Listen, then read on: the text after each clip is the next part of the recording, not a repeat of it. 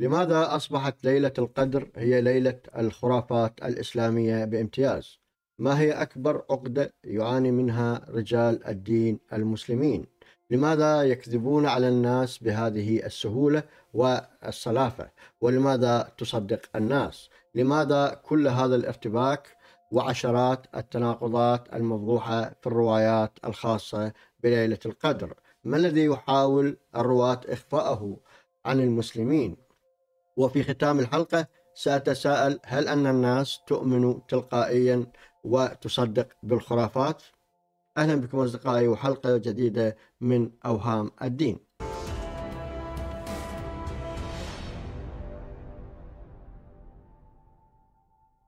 لماذا أصبحت هذه الليلة هي ليلة الخرافات الإسلامية بامتياز؟ هناك كما نعرف أساطير إسلامية كثيرة تبدأ بالمعراج وبالقرابين ولا تنتهي بليلة القدر. أه، نتساءل لماذا لا أحد يعرف ما هو القدر أصلا ككلمة؟ هل هو القدر أم القدر أو القدر؟ طبعا هذا هو حال كل شيء في هذا الدين الذي يسمى الدين الصحيح. فلا تجد فيه أبدا أي شيء صحيح واحد أو متفق عليه. أعني الصحيح بالمعنى بمعناه البسيط. أي مثلا عندما أقول واحد زائد واحد يساوي اثنين مثلا. أو أن تصف شيء شيء واحد مثلا هذا أحمر ليس بأبيض. حتى هذه القضايا الأساسية البسيطة لا توجد في هذا الدين. لا توجد لا يوجد تعريف واحد لقضية واحدة ولا قيمة واحدة ثابتة. دين كل شيء فيه زئبقي غير ثابت متحرك. مع هذا يصرخون جميعا. إنه ثابت ثابت ثابت وأنك تخرج على ما هو معلوم من الدين بالضرورة ولا تعرف ما هو هذا المعلوم. المعلوم هم يحددونه فقط وحسب حاجتهم وحسب توجهاتهم الخاصة. السؤال لماذا جعلوا هكذا حال هذا الدين الذي تؤمن به الناس؟ لكي يحكمون أمر الجميع ويفرضون أنفسهم عنوة على عليهم؟ يبدو انه هذه هي الحقيقة. ويبدو أن هذه الميوعة وهذه الزئبقية في النصوص الدينية والأحكام مقصودة. الفكرة يبدو اصنع أساطير لفق حكايات لفق أحاديث انشر معلومات متضاربة اختار عدوك فيك بل بل حتى صديقك يحتار فيك. ولا بد أن ننوه أن عندما أتناول ليلة القدر ليس لأن مناسبة ليلة القدر حدثت يوم أمس. أنا تركتها تمر لا يكون هنالك نوع من التوافق مع هذه الليلة.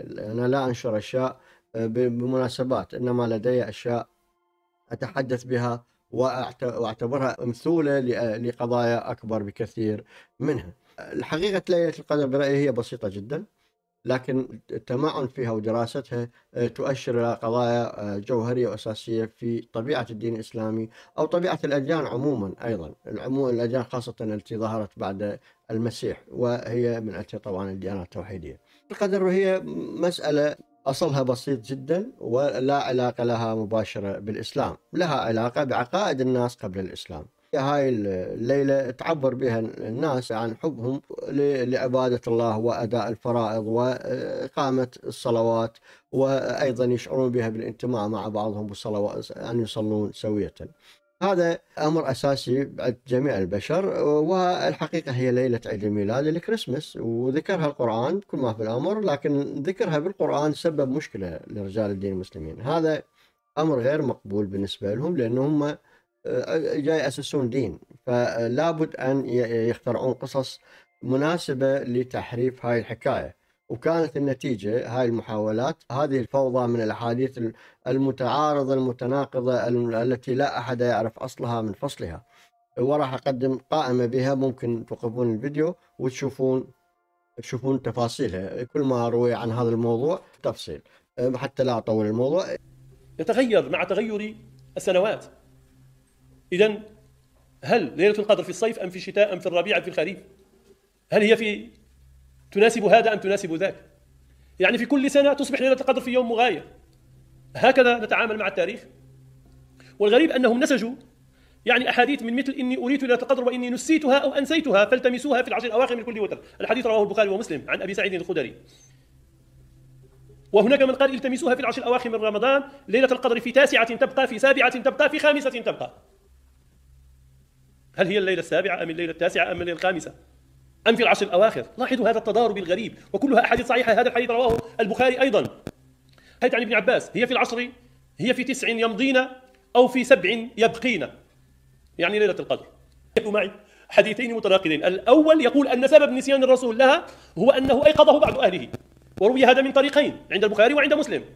عند البخاري ومسلم أيضا عند البخاري برقم 2023 ومسلم برقم 1074 أن سبب رفع وليس نسيان رفع القدر هو ماذا؟ هو أن رجلان تلاحا عند الرسول عن عبادة بن صامت قال أنها نعم القرآن عندما تحدث عن ليلة القدر فلم يطلب من أحد أن يحتفل بهذه الليلة.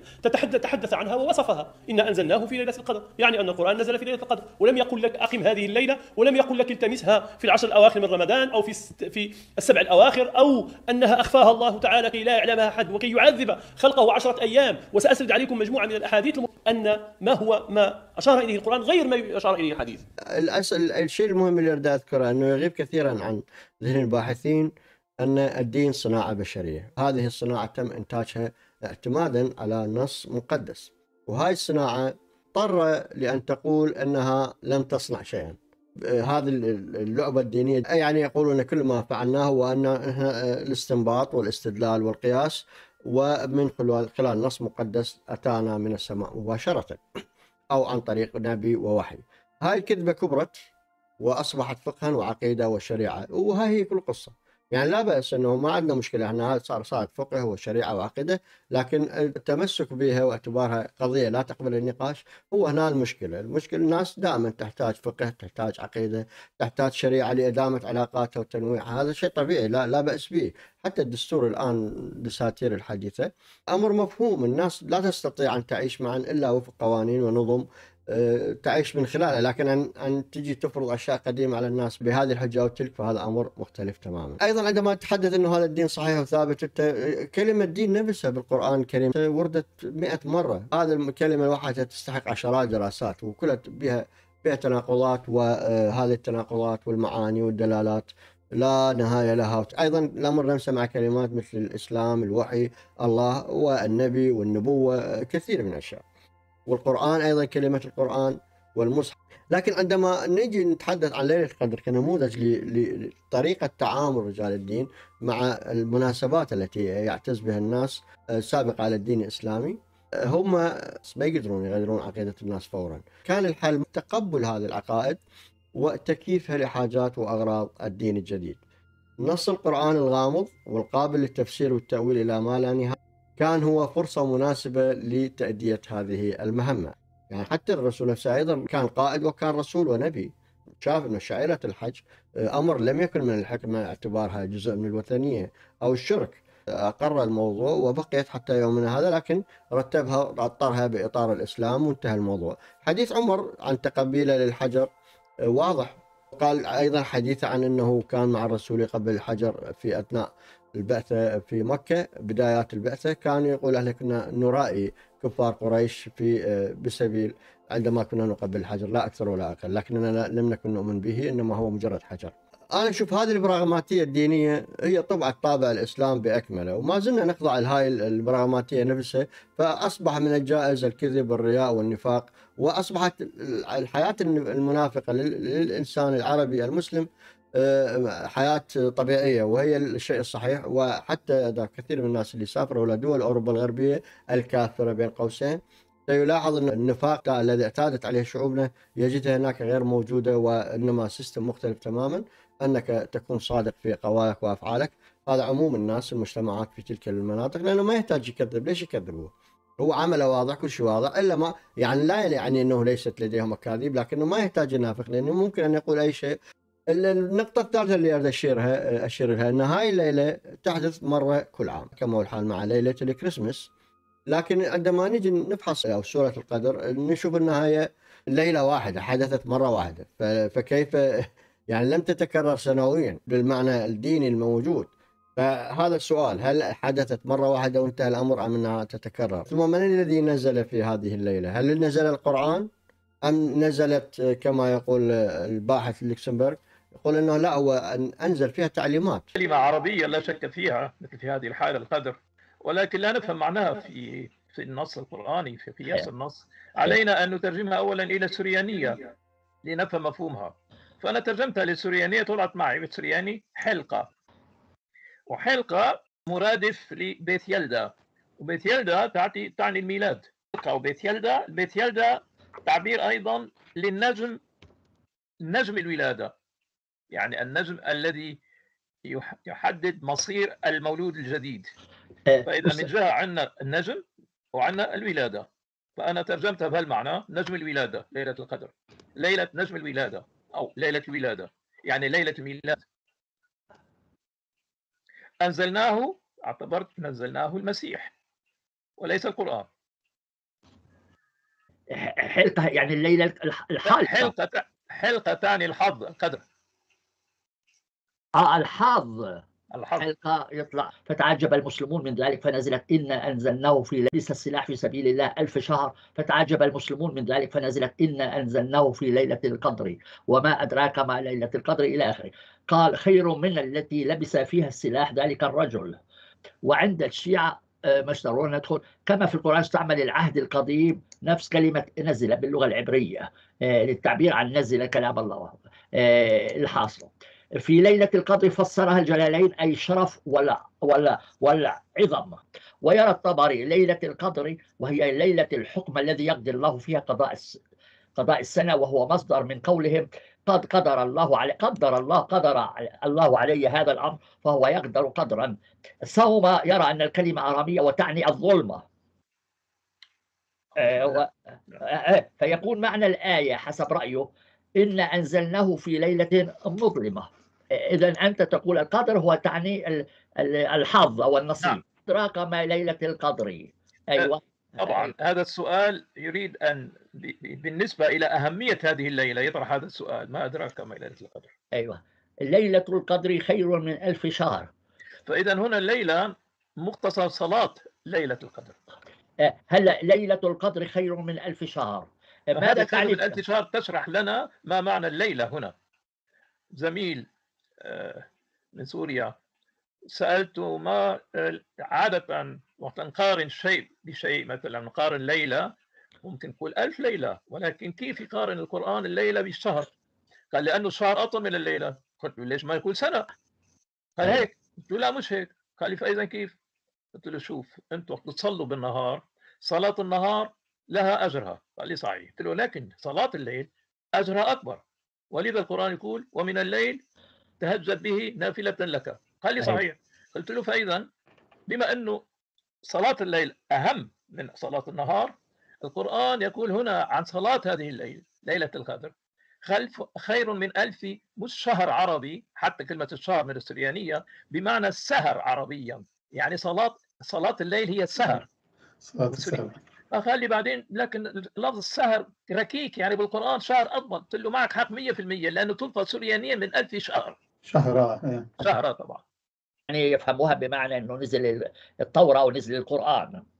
لكن تنزلوا الملائكة والروح فيها بإذن ربهم من كل أمر. ماذا ماذا تفهم هذه الآية أستاذي الفاضل؟ من هو المقصود بفيها؟ ما هو المقصود بفيها؟ يعني في تلك الليلة. آه كويس. فيها؟ آه ممكن بالنسبة لهذه الليلة مش إنه فيها. بخصوص هذه الليلة. كل أمر آه آه. تعبير يعني ارامية الأصل لكن نستعمل عادة بالصلوات السريانية ممرة. مقصود بها الأناشيد. أيوة. ممرة. من كل أمر من كل من كل أنواع الأناشيد بهالمعنى آه، من كل أمر يعني من كل نوع. من كل نوع. آه. لا الأمر تعني النشيد الأناشيد. خامسة. سلام هي حتى مطلع الفجر. آه نشيد الملائكة. ليلة عيد الميلاد. المجد لله في العلا ولا في الأعالي؟ وعلى الأرض سلام لبني البشر.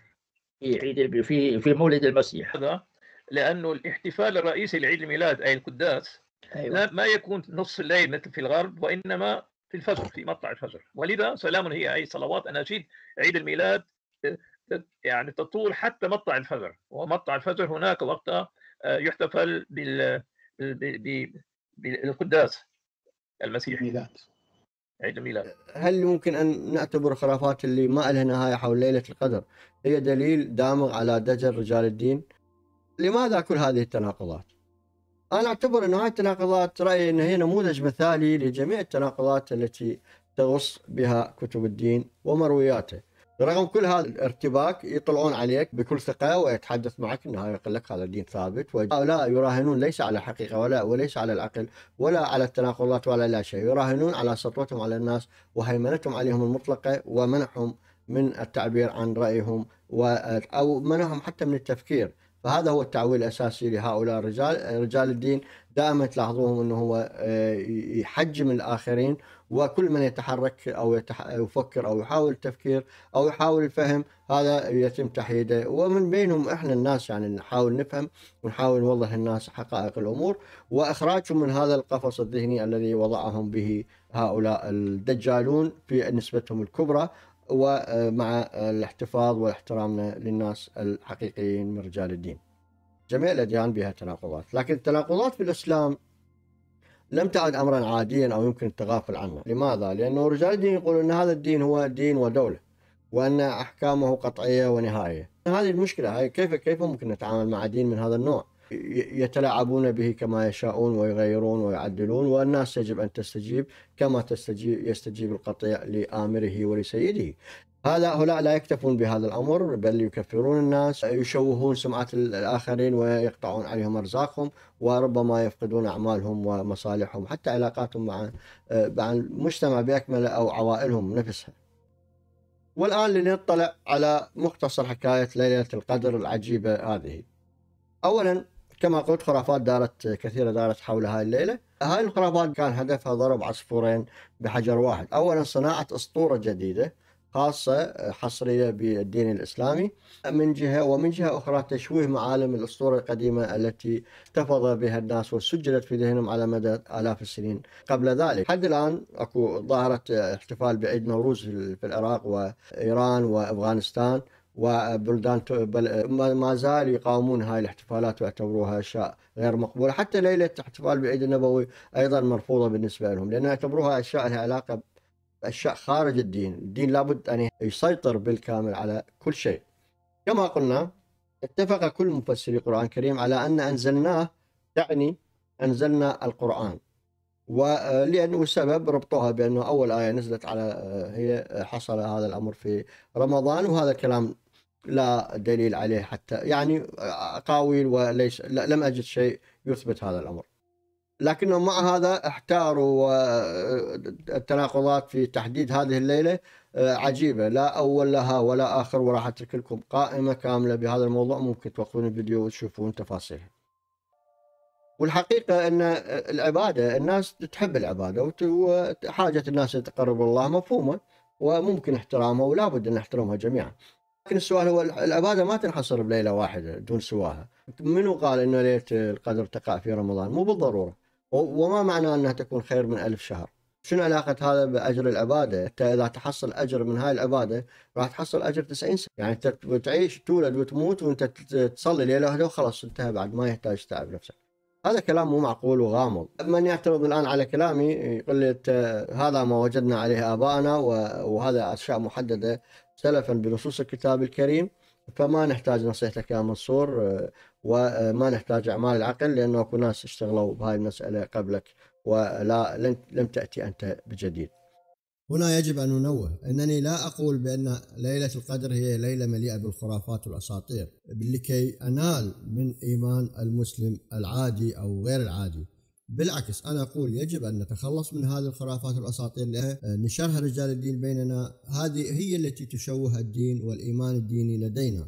على الناس أن ترتقي بإيمانها وتصعد إلى مرتبة أعلى من المرتبة العادية السطحية التي يروج لها رجال الدين أغلب رجال الدين. وتحول الدين إلى مجموعة أساطير كايات يعني غريبة عجيبة لا يقبلها عقل ولا منطق. هذا منطق شعوب قديمة كانت تعيش بطريقة بدائية. علينا أن نعبر على هذه المسائل ونحول الدين الإسلامي إلى دين أكثر رقيا وبإمكان أن نطوره ليش باقين على الوضعية نفسها ونحاول نكرر الماضي. بالعكس مثل الديانة المسيحية أيضا تطورت الديانة اليهودية تطورت. فبالإمكان أن المسلمين الآن أن يفتحون أذهانهم ويتقبلون فكرة وجود خرافات وأساطير في دينهم. وتجاوز المسألة واعتبار هاي الدين مسألة روحية صافية خالصة. عندما يأتي أحد مثل مثلا وينتقد الخرافات والأساطير المنتشرة بين الناس يجب أن لا نحتج عليها ونتعود الإنصات إليها لو نعتبر هذه المسألة إيجابية وليست مسألة فيها طعن بالدين إنما محاولة لكشف النواقص التي يتعرض لها كل دين. مثل ما أي مشروع أو أي فكرة أو أي قضية نؤمن بها دائما بها عوامل نقص وهاي عوامل النقص لا, لا يمكن أن نفطن إليها إلا بالنقد المستمر وسماع الآراء الأخرى. هذا هو الهدف من كل كلامي. ليس الهدف طعن بأحد ولا الإساءة إنما تقديم شيء نافع للناس يديم العلاقات بين الناس جميعا ويأكد على أولويتها أولوية أن تكون العلاقات فيما بيننا دائما. علاقات ودية متفهمة منفتحة ويعني open mind يعني كل واحد ورأيه. المهم أقول أن الآية اللي تقول بأن أن أنزلناها في ليلة القدر تستدعي التساؤل أنزلنا ماذا؟ وهذه الإضافة على على من تعود. التفاسير السلف كما نعرف بدءا من الطبري اللي هو أقدم مفسر قبل مقاتل لكن هو الطبري المضبوط أكثر واحد. قالت إن أنزلنا القرآن فيها وما قدم أي سند ودليل على هذا المعنى كما قلت باستثناء رأي ابن عباس. الحقيقة أين؟ الحقيقة أن هذه أن هناك علاقة بين هذه الليلة وليلة الانقلاب الشتوي ومن 21 إلى 25 كانون الأول يعني تقريبا هي نفس فترة ميلاد المسيح. أو اللي تسمى الاحتفال الكريسماس والقضية وين القضية لأن الدين الإسلامي القرآن هو واضح المسألة بهذا الصدد وحتى لو كان القرآن مو بالضبط يقصد هاي الليلة كان يقصد قيامه المسيح وأيضا يوم آه، لها علاقة بالقيامة المسيحية. السبب كما قلت هو أن الدين الإسلامي دين شديد الانعزاليه والنرجسية. ورجاله يتطيرون بشدة من أي إشارة في دينهم لديانات ومعتقدات الآخرين. لديهم رغبة دائما بأن يصنعون دينهم آه، ويصورون هذا الدين نازل من السماء مباشرة، لا علاقة له بالتاريخ ولا تداعيات الزمن والأحداث ولا الأماكن، هو كل شيء جاي جاهز مجهز يعني مجرد انت هذا الدين هو حباية تأخذها حبة كاملة كامل مكملة يعني one package. لا له علاقة بالزمان ولا بتطورات الأحوال. والحقيقة قدماء المصريين الفراعنة القدماء اعتبروا هذا اليوم هو ميلاد أوزوريس وابنه حورس. بروما القديمة آه، قبل قبل أن تصير مسيحية وحتى بعدها كان هذا احتفال للإله ساتورن وقبل أيضا كان أيضا يقال كان ميلاد الاحتفال بميلاد الإله أدونيس وباخوس آه، بأيام الحضارات الإغريقية والهلينستيه والرومانية. اليابان أيضا اليابان والصين كانوا يحتفلون بهذا اليوم. اليابان كانت تحتفل به من القرن السابع بعيد بزوغ إله الشمس ما أعرف اسمه اما اما اما تيراسو. بالصين. كان اسمه عيد دونغ زي. بلاد فارس إيران. كان أيضا هو أبدوا إله الشمس به هو عيد إله الشمس مباشرة. الآباء المسيحيين اعتبروا هاي الليلة هي ليلة ميلاد السيد المسيح الكريسماس. تم إقرار هذا الأمر من قبل البابا سنة 354 كانوا طبعا يحتفلون بالربيع قبل هذا. الآن العالم بأكمله يحتفل بهاي الليلة كل سنة. والسبب هو واضح السبب طبيعي إنه شروق الشمس هاي الليلة دون شعاع لأن تيجي الشمس بشكل شبه عمودي راح يكون الشعاع مالتها يخترق أطول مسافة داخل الجو وهذا يؤدي إلى انكسارات متعددة للضوء وأيضا بالتاريخ المسلمين ما ذكروا هذا الموضوع ما عندهم هاي الفكرة لكن أكو حديث يقول ان انكسار الأشعة الشمس وغياب أشعة الشمس أكو حديث من هاي طلع هي الخوارزمي فقط اللي ذكر هذا هذه القضية. الآن بالنهاية راح يكون إحنا أمام حقيقتين. الأولى أحاديث كهنوتية مزيفة عن هذه الليلة قائمة كلها على أحاديث آحاد وموضوع تاريخي مثبت وقديم جدا يعود لأكثر من 4000 عام وتدعم حقائق العلم الثابتة والآثار ورموز اللي ممكن الواحد يبحث عنها عن هذه الليلة. وأترك لكم الخيار. الآن الخلاصة أو تساؤلاتي. الفكرية ربما هذه الفقرة كثير من الناس ما يحبوها يعني لكن هو هذا السؤال الأساسي دائما هو مشروع مشروع القناه باكمله هو أن نفكر. السؤال هل إن الناس ما يتعلق بليلة القدر هل إن الناس يميلون بطبيعتهم للتصديق بالأقاويل والخرافات؟ أم إن قوى الواقع اللي اللي يعيشون به هي تشجعهم على هذا الأمر أعني السلطات الحاكمة أو المهيمنه على حياتهم؟ هذا السؤال اعتبره انه ضخم جدا ويحتاج إلى تفكير عميق لكن عندي الإجابة الشائعة على هذا السؤال إن الناس طبيعتهم يميلون إلى التصديق بالخرافات، هذه هذه القناعة مصدرها رجال القوى المهيمنة على المجتمعات يروجونها دائما أو هم يؤمنون بهذه المسألة على الأقل، يقولون بأن أغلبية الناس بطبيعتهم عاطفيين وجهل ولا يحبذون الاستجابة للواقع والتعامل معه بواقعية وموضوعية. وهذا التصور يعني منتشر جدا حتى وصل يعني بين حتى بين الطبقة المتعلمة والمثقفة فيقول لك دائما يتهمون الشعوب بأنها جاهلة وبالتالي يؤولون ما يحدث بحقها لاحقا. هذا يثير الشك عندي ورأيي الخاص.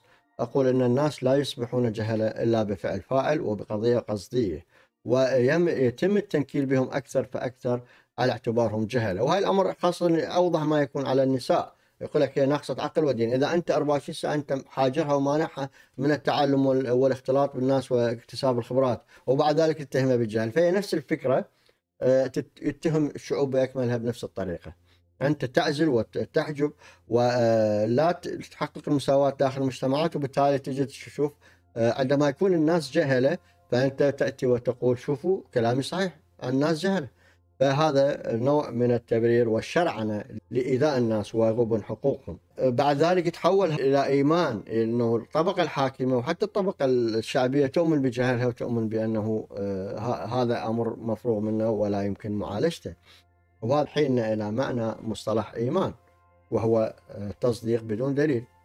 وهذا هو بالضبط ما تحتاجه القوى الحاكمة. دائما تخلق إيمان داخل الناس يمنع استخدام العقل ومعرفة وتحليل ما يجري يعني وهذا معقول لأنه أنت شوف هاي القوى الحاكمة إذا استخدمت العقل وقدمت لكل ما لكل حجة تقولها دليل عقلاني ومنطقي ما راح تستمر بالحكم إلا بضعة أيام.